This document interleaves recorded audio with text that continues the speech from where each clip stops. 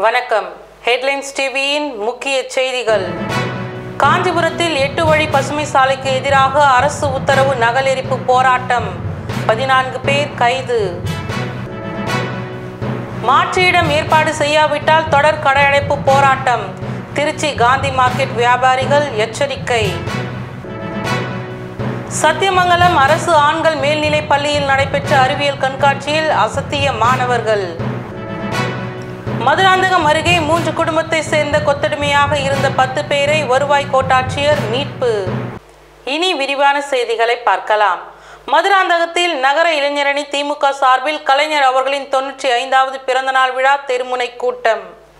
காஞ்சிபுரம் தெற்கு மாவட்டம் மதுராந்தகம் நகர இளைஞரணி திமுக சார்பில் மதுராந்தகம் ஜிஎஸ்டி சாலையில் தலைவர் கலைஞர் அவர்களின் தொன்னூற்றி ஐந்தாவது பிறந்தநாள் விழா தெருமுனை கூட்டம் நகர இளைஞரணி அமைப்பாளர் பரணி தலைமையில் நடைபெற்றது.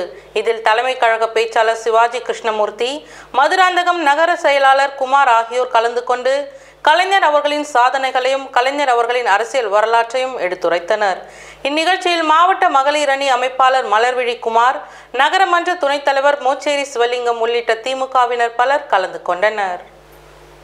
காஞ்சிபுரத்தில் எட்டு வழி பசுமை சாலைக்கு எதிராக அரசு உத்தரவு நகலெரிப்பு போராட்டம். பதினான்கு பேர் கைது. சென்னை முதல் சேலம் வரையிலான எட்டு வழி பசுமை சாலைக்கு எதிர்ப்பு தெரிவித்து திட்டத்திற்கான அரசு உத்தரவை ரத்து செய்ய கோரி காஞ்சிபுரம் காந்தி சாலை பெரியார் தூண் பகுதியில் தமிழ்நாடு விவசாயிகள் சங்கம் சார்பில் பசுமை வழிக்கான அரசு ஆணைய நகல் எரிப்பு போராட்டம் நடந்தது. போராட்டத்தில் முன்னாள் கம்யூனிஸ்ட் எம்எல்ஏ டில்லி பாபு தலைமையில் தமிழ்நாடு விவசாயிகள் சங்க நிர்வாகிகள் இருபதற்கும் மேற்பட்டோர் போராட்டத்தில் ஈடுபட்டு அரசு உத்தரவு நகலை எரித்தனர். போராட்டத்தில் ஈடுபட முயன்றவர்களுக்கும் போலீசாருக்கும் இடையே தள்ளுமுள்ளி ஏற்பட்டது. இதனைத் தொடர்ந்து நகலெரிப்பு போராட்டத்தில் ஈடுபட்ட டில்லி பாபு உட்பட பதினான்கு பேரை போலீசார் கைது செய்தனர். அரசு பள்ளிகளில் பயோமெட்ரிக் வருகை பதிவேடு முறை ஆகஸ்ட் மாதம் முதல் நடைமுறைக்கு வரும். சத்தியமங்கலத்தில் பள்ளி கல்வித்துறை அமைச்சர் செங்கோட்டையன் பேட்டி. ஈரோடு மாவட்டம் சத்தியமங்கலத்தில் அரசு நலத்திட்ட உதவிகள் வழங்கும் விழா நடைபெற்றது. இதில் பள்ளி கல்வித்துறை அமைச்சர் செங்கோட்டையன் சுற்றுச்சூழல் துறை அமைச்சர் கருப்பண்ணன் ஈரோடு மாவட்ட ஆட்சியர் பிரபாகர் ஆகியோர் கலந்து கொண்டு ஐநூற்றி எண்பத்தி இரண்டு பயனாளிகளுக்கு எண்பது லட்சத்து இருபத்தி நான்காயிரம் மதிப்புள்ள நலத்திட்ட உதவிகளை வழங்கினார். இதனைத் தொடர்ந்து பள்ளி கல்வித்துறை அமைச்சர் செங்கோட்டையன் செய்தியாளர்களுக்கு அளித்த பேட்டியில் கூறியதாவது மலை கிராமங்கள் மற்றும் இணையதள வசதி இல்லாத தொலைதூர கிராமங்களில் உள்ள அரசு பள்ளிகளுக்கு பயோமெட்ரிக் மற்றும் இணையதள வசதி ஏற்படுத்த ரூபாய் ஐநூறு கோடி நிதி ஒதுக்கப்பட்டு டெண்டர் விடப்பட்டுள்ளது. ஆகஸ்ட் மாதம் முதல் பள்ளிகளில் பயோமெட்ரிக் வருகை பதிவேடு முறை நடைமுறைக்கு கொண்டு வரப்பட உள்ளது. காலியாக உள்ள ஆயிரம் காலியாக உள்ள ஆயிரத்தி தொள்ளாயிரத்தி நாற்பத்தி இரண்டு பட்டதாரி ஆசிரியர் காலி பணியிடங்கள் விரைவில் நிரப்பப்படும். அதுவரையில் பெற்றோர் ஆசிரியர் கழகம் மூலமாக ரூபாய் ஏழாயிரத்தி ஐநூறு ஊதியத்தில் தற்காலிக ஆசிரியர்களை நியமித்துக் கொள்ளலாம். சத்தியமங்கலத்தில் நகராட்சியில் வீடு இல்லாத ஏழை மக்களுக்கு ஆயிரத்தி ஐநூறு வீடுகள் கட்டித் தரப்படும் என்று கூறினார். அரசு அலுவலர்கள் அரசு பள்ளியிலே இருக்கின்ற ஆசிரியர் பெருமக்கள் கட்டாயப்படுத்தி அந்த பள்ளியிலே படிக்க இயலாது. ஆனால் மனிதநேயத்தோடு அவர்கள் அந்த பள்ளியிலே படிக்க வைத்து தன்னுடைய குழந்தையைப் போல மற்ற குழந்தைகளை நேசிக்க வேண்டும் என்பது இந்த அரசுடைய நோக்கம். அநேகமாக ஒரு ஒரு மாத காலத்திற்கு பிறகு ஜூலை ஒன்று ஆகஸ்டில் அந்த பணிகள் துவங்கும். பயோமெட்ரிக் வருகிற போது காலையிலும் மாலையிலும் ஆசிரியர்கள் தங்களுடைய பணிகளை ஆற்றுகிற போது அதிலே அவர்கள் வருகை பதிவேட்டிலே பதிவு செய்யப்படும். காஞ்சிபுரம் மாவட்ட ஆட்சியர் அலுவலகம் அருகே நியாய விலை கடை ஊழியர்கள் பல்வேறு கோரிக்கைகளை வலியுறுத்தி ஆர்ப்பாட்டம். தமிழ்நாடு கூட்டுறவு நியாய விலைக்கடை அனைத்து தொழிற்சங்க கூட்டமைப்பு சார்பில் சமவேலைக்கு சம ஊதியம் தனித்துறை எடை குறைவை தடுக்க பொட்டலம் முறை மருத்துவ காப்பீடு பணி நிரந்தரம் உள்ளிட்ட பதினோரு அம்ச கோரிக்கைகளை வலியுறுத்தி காஞ்சிபுரம் மாவட்ட ஆட்சித்தலைவர் அலுவலகம் அருகே ஆர்ப்பாட்டம் செய்து தமிழக அரசை கண்டித்து கோஷங்கள் எழுப்பினர். இதில் காஞ்சிபுரம் மாவட்ட தொழில் முன்னேற்ற சங்க தலைவர் சுதந்திரத்தின் தலைமையில் முன்னூறுக்கும் மேற்பட்ட நியாய விலைக் கடை ஊழியர்கள் கலந்து கொண்டனர். தமிழ்நாட்டில் பொது விநியோக திட்டத்தில் இருவேறு கொள்கைகளை நடைமுறைப்படுத்தி வரும் அரசை கண்டித்து அடிப்படை ஊதியமும் அடிப்படை வசதிகளும் ஒரே முறையில் வே ஒரே வேலை பார்க்கக்கூடும் கூடிய தொழிலாளர்கள் இருவேறு இருவேறு சம்பளங்களை பெறுவதை தவிர்க்கு தவிர்த்து அனைவருக்கும் ஒரு வேலை சம வேலை சம ஊதியம் என்ற கோரிக்கை நிறைவேற்றி இன்று தமிழ்நாடு முழுவதாக வேலைநிறுத்தம் நடைபெற்றுக் கொண்டிருக்கிறது. இந்த கோரிக்கைகள் உரிய காலத்தில் நிறைவேற்றாவிட்டால் நாடு தழுவிய போராட்டம் ஆறு எட்டு அன்று கடையடைப்பு போராட்டம் காலவரையற்ற கடையடைப்பு போராட்டம். மாற்று இடம் ஏற்பாடு செய்யாவிட்டால் தொடர் கடையடைப்பு போராட்டம். திருச்சி காந்தி மார்க்கெட் வியாபாரிகள் எச்சரிக்கை. நூறு ஆண்டு பழமை வாய்ந்த காந்தி மார்க்கெட் கள்ளக்குடிக்கு கடந்த மூன்றாம் தேதி வியாபாரிகள் சுமை தூக்கும் தொழிலாளர்களின் பெருத்த எதிர்ப்புக்கு இடையே இடமாற்றம் செய்யப்பட்டது. இந்நிலையில் திருச்சி காந்தி மார்க்கெட்டை இடமாற்றம் செய்ய ஓராண்டு கால அவகாசம் வேண்டும். திருச்சி மாநகர எல்லைக்குள் இருபத்தி ஐந்து ஏக்கர் நிலப்பரப்பில் புதிய மார்க்கெட் அமைத்து தர வேண்டும். மொத்த வியாபாரத்தை இரவு பத்து மணி முதல் காலை ஆறு மணி வரையிலும் சில்லறை வியாபாரத்தை காலை ஆறு மணி முதல் இரவு பத்து மணி வரை நடத்த அனுமதிக்க வேண்டும் என திருச்சியில் நடைபெற்ற திருச்சி காந்தி மார்க்கெட் மாநகராட்சி அனுமதி பெற்ற தரைக்கடை மற்றும் நிலையான கடை வியாபாரிகள் ஒற்றுமை சங்க கூட்டத்தில் தீர்மானம் நிறைவேற்றப்பட்டது. கூட்டத்திற்கு பிறகு செய்தியாளர்களை சந்தித்த தமிழ்நாடு வணிக சங்க பேரவை மாநில செயலாளர் கோவிந்தராஜலு பேசுகையில் நூற்றாண்டு பழமை வாய்ந்த காந்தி மார்க்கெட் திருச்சிக்கு வெளியே கள்ளக்குடி என்ற இடத்தில் துவங்கப்பட்டுள்ளது. காந்தி மார்க்கெட்டில் சுமார் மூவாயிரம் வியாபாரிகள் உள்ள நிலையில் வெறும் இருநூற்றி ஐம்பது வியாபாரிகளுக்கு மட்டும் கடை ஒதுக்கப்பட்டுள்ளது. திருச்சி மாநகர எல்லைக்குள் இருபத்தி ஐந்து ஏக்கர் நிலப்பரப்பில் புதிய மார்க்கெட் அமைத்து தர வேண்டும்.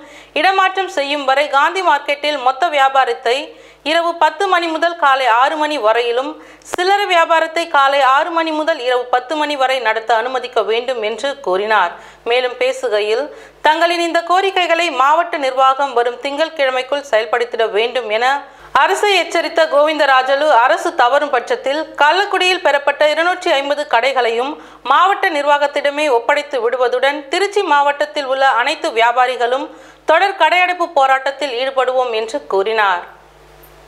திருவாரூரில் புதிய ரயில் நிலையம் முன்பு தனியார் கேஸ் ஏஜென்சி நிறுவனத்தை கண்டித்து தொழிலாளர்கள் ஆர்ப்பாட்டம். திருவாரூர் நாகை பைபாஸ் சாலையில் இயங்கி வரும் இண்டான் கேஸ் ஏஜென்சி நிறுவனத்தில் கடந்த பதினேழு வருடங்களாக மாதம் ஐநூறு சம்பளத்தில் பணியில் இருந்த தொழிலாளர்களை எவ்வித முன்னறிவிப்பும் இன்றி திடீரென வேலையை விட்டு நிறுத்தியுள்ளனர். அதேபோல பாரத் கேஸ் ஏஜென்சி நிறுவனமும் தொழிலாளர்களை வேலை விட்டு வெளியேற்றியுள்ளது. இந்த சட்டவிரோத நடவடிக்கையை கண்டித்தும் மீண்டும் பணி வழங்க வலியுறுத்தியும் கண்டன ஆர்ப்பாட்டம் நடைபெற்றது. தமிழ்நாடு கேஸ் சிலிண்டர் சப்ளை தொழிற்சங்க மாநில தலைவர் கணேஷ் அவர்களின் தலைமையில் நடைபெற்றது. எனக்கு என்ன நடக்குதுன்னே தெரியல. ஓ, வந்து நின்ன உடனே உங்களை கைது பண்றோம் கைது பண்றோம். என்ன குற்றம் செஞ்சிருக்கு என்னன்னு ஒண்ணுமே புரியல. அது வந்து ஒரு ஒரு பகுதியிலிருந்து இன்னொரு பகுதிக்கு ஒரு நபர் ஒரு மாவட்டத்து எல்லைக்குள்ளார வந்தாலே கைது செய்வதுன்னு சொன்னா எத்தகைய ஜனநாயகம்? நீதி நீதிமன்றம் சட்டமன்றம் உச்ச நீதிமன்றம் உயர் நீதிமன்றத்தின் ஆணைகள் எல்லாம் வந்து காலில போட்டு மிதிக்கப்படுகிறதா? யாரும் எங்கேயுமே போகக்கூடாதா? எங்கேயுமே வரக்கூடாதா? பேசவே கூடாதா? அரசாங்கத்துக்கு எதிர்ப்பாக த- த- பாதிக்கக்கூடிய மக்கள் தன்னுடைய எதிர்ப்பை தெரிவிப்பான் ஜனநாயகத்தில் இருக்கக்கூடிய ஒரு கோட்பாடு.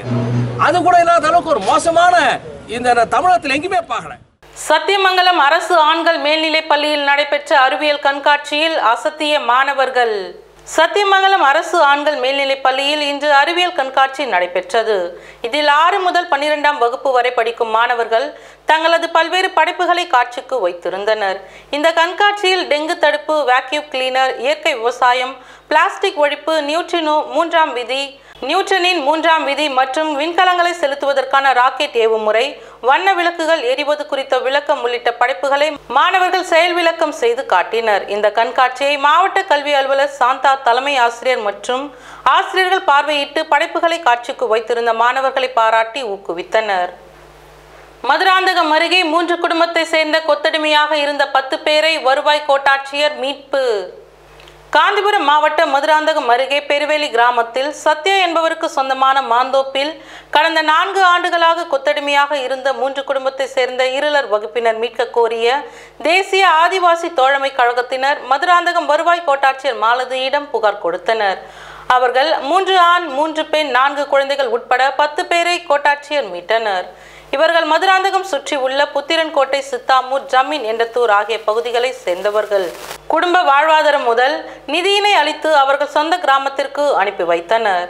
இதேபோன்று ஈரோடு மாவட்டம் சத்தியமங்கலம் பகுதியில் உள்ள விவசாய தோட்டங்களில் கொத்தடிமை முறையில் தொழிலாளர்கள் வேலை செய்து வருவதாக வருவாய்த்துறையினருக்கு தகவல் கிடைத்தது. இதனை அடுத்து கோபி வருவாய் கோட்டாட்சியர் அசோகன் தலைமையில் இக்கரை தள்ளப்பள்ளி கிராமத்தில் உள்ள விவசாய தோட்டங்களில் ஆய்வு மேற்கொண்ட போது அப்பகுதியில் உள்ள வடக்கு தோட்டத்தை சேர்ந்த விவசாயிகள் பழனிசாமி விஜயகுமார் மூர்த்தி ஆகியோரது தோட்டங்களில் குடும்பமாக தங்கி வேலை செய்து வந்த எட்டு குழந்தைகள் உட்பட ஐம்பத்தி மூன்று தொழிலாளர்கள் குறைந்த கூலிக்கு மல்லிகைப்பூ பறிக்கும் பணி செய்து வந்ததாக அதிகாரிகளிடம் தெரிவித்தனர். இதனை அடுத்து ஐம்பத்தி மூன்று பேரையும் வருவாய்த்துறையினர் சத்தியமங்கலம் வட்டாட்சியர் அலுவலகத்திற்கு அழைத்து வந்து பின்னர் அவரவர் சொந்த ஊருக்கு அனுப்பி வைக்கப்பட உள்ளதாக ஒவ்வொரு தொழிலாளர்களுக்கும் தலா ரூபாய் ஒரு லட்சம் வீதம் அரசு சார்பில் வழங்கப்பட உள்ளதாகவும் தெரிவித்தனர். பிரசித்தி பெற்ற திருவாரூர் அருள்மிகு தியாகராஜ சுவாமி திருக்கோவிலில் தெப்பத் திருவிழா நடைபெற்றது. பஞ்சபூத தலங்களுள் பூமிக்குரிய தலம் திருவாரூர் அருள்மிகு ஸ்ரீ தியாகராஜ சுவாமி திருக்கோவில் ஆகும் சைவ திருத்தலங்களில் பெரிய கோயில் என்பது திருவாரூர் தியாகராஜர் கோவிலைத்தான் குறிக்கும். மூலவர் வன்மீகநாதர் புற்றிடம் கொண்டான் மற்றும் தியாகராஜர் நாயன்மார்களால் பாடல் பெற்ற தலங்களுள் ஒன்றான இக்கோவிலில் முப்பத்தி மூன்று ஏக்கர் நிலப்பரப்பில் அமைந்துள்ள மிக பிரம்மாண்டமான கோவில் மற்றும் பெரிய குளம் உள்ளது. பிரம்மாண்டமான இந்த கமலாய குலமானது சிவபெருமான் யாகம் செய்த யாக குண்டமாக விளங்கியது. அந்த யாக குண்டத்திலிருந்து ஸ்ரீ லலிதாம்பிகை தோன்றியதும் ஸ்ரீ மகாலட்சுமி தவம் புரியும் பெருமையும் உடையது. இத்திருக்கோவிலில் நீராடுவோருக்கு பன்னிரு மகாமாகத்தில் நீராடிய புண்ணியத்தை தரக்கூடியதும் ஹரிச்சந்திரன் தசரதன் போன்ற மன்னர்களும் ரிஷிகளும் சித்தர்களும் இந்திரன் போன்ற தேவர்களும் நீராடிய சிறப்பு பெற்றது.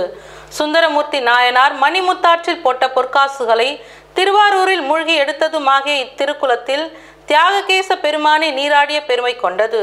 இவ்வளவு பெருமைக்குரிய கமலாயம் திருக்குளத்தில் தெப்பத் திருவிழா நடைபெற்றது. இத்துடன் இந்த செய்தி தொகுப்பு நிறைவடைந்தது. செய்திகளை உடனுக்குடன் தெரிந்து கொள்ள ஹெட்லைன்ஸ் டிவியை சப்ஸ்கிரைப் செய்யவும். நன்றி வணக்கம்.